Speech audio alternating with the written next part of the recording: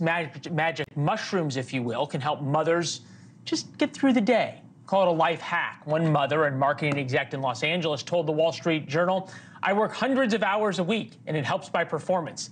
It allows me to be my best self. Dr. Greg Fonzo, psychologist who works with patients using mushrooms, Tracey Tee, mother of one, is here with us as well. Fair to say, uh, Tracey, what would you call it, an enthusiast of, of this? I would fair, yeah, I'd say I'm an enthusiast, absolutely. Okay, so what's it like? Uh, well, you know what? I think it's actually the opposite of mommy's little helper. Um, microdosing is actually brings me into more presence and I am not numbing out. It is an expander in terms of how I am able to live my life. And it isn't uh, band aiding anything that I want to avoid. So I love it when people kind of equate moms who microdose as, oh, it's mommy's next little helper.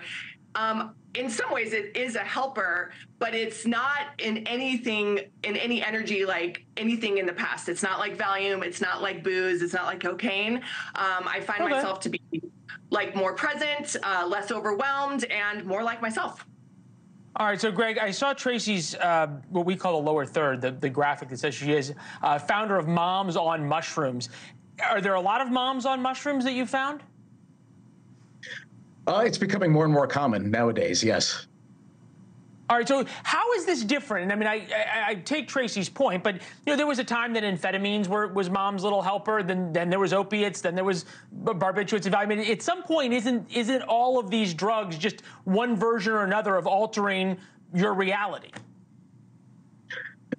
Um, yes. So the uh, I think all those drugs would be considered what you call psychoactive. Uh, so they would alter one's state of consciousness. Um, psychedelics, in particular, and psilocybin, which is the compound that's in uh, magic mushrooms, um, is undergoing a lot of investigation now uh, in clinical studies for its potential to be a, a mental health uh, treatment, uh, particularly for various conditions like depression, um, anxiety, and and addictions as well. Um, whether or not um, it can be used as a a general tool for improvement of well-being is is an open question, though. All right, so Tracey, to be fair to the FDA, they have not approved a drug product containing psilocybin. Uh, therefore, the effectiveness and safety of psilocybin as a drug has not been evaluated by the FDA for any therapeutic indication. I'm guessing you would take issue with that. Um, I think it's I think it's unfortunate that that's the stance of the FDA. Um, I think that we can listen to tens, hundreds of thousands of people who have been working with this medicine um, and listen to their stories and listen to the anecdotal results.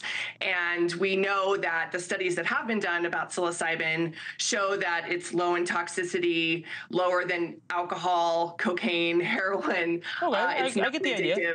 And look, yeah. look. I mean, you know, there, there, for a long time there was marijuana that people were saying, you know, had all these wonderful uh, effects on people and was was very low in in terms of danger. And the FDA said the same things. Now, obviously, there's medical marijuana and everything else. Take us through a day uh, of using of using this of microdosing. Yeah, well, first I just want to point out that microdosing, you're not high. So we're not talking about moms running around to Carline and to playgrounds uh, seeing rainbows and unicorns. It's actually quite the opposite. We're taking low doses of psilocybin um, that are allowing us to potentially because yes there is not any longitudinal studies out yet about microdosing but kind of reap the benefits of what a large dose journey journey does on a lower in a lower amount that isn't um, altering your mind, no hallucinogenic effects. So um, a typical day for me is I when I choose to microdose, which is not every day, and you never want to microdose every day. Um, I take 50 milligrams, which is a very, very small amount. I take it in the morning. And throughout the day, I just find that I'm able to kind of tap into more presence, less overwhelm, less anxiety, more compassion, all the things that every mom wants to offer a family. All right, fair enough. Um, Doc, luxury experience in Vancouver, $15,000 for four nights. Retreat in Denver, $8,100, four nights in coaching. 10 hour music based psychedelic experience, $1,000. At some level, and I, I, I take the point that you know um, there's all sorts of folks on all sorts of different medications. Um, is there really any any difference in any of uh, these things? And I, I, I look at it, and I'm sure there's a lot of people at home going, "Gee, sounds wonderful," but uh, Prozac is 10 cents on insurance, and we're talking $15,000 for four nights. Where's the the delta in that come in? There are uh, differences in regards to the way the drugs work. Um, I think what you're getting at, though, is do for does, for example, microdosing psilocybin have a benefit that would be superior, let's say, to something that's cheaper like Prozac? Um, and really, the research is is out at the moment, so we don't have a lot of hmm. good studies, particularly with microdosing. Uh, most of the work that's been done has been looking at high doses, um, where people have a strong hallucinogenic experience. Uh, and those studies do show that there may, be, in fact, be some benefit uh, for folks with um, particular conditions. But I think we really do need to do some more research on uh, very low dosing or microdosing, uh, as it's called, in order to understand like what kind of effects it does have on one's mood, one's ability to concentrate and focus, productivity, um, a lot of these things that we still don't really have good answers on. Can I just say though, in terms of cost, um, those costs of those retreats that you just um, showed, uh, that is an exorbitant amount of money.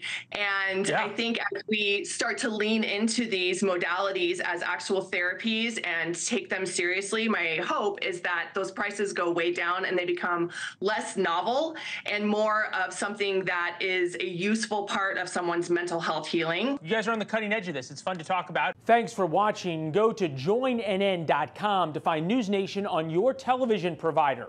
And don't forget to click the red subscribe button below to get more of News Nation's fact driven, unbiased coverage.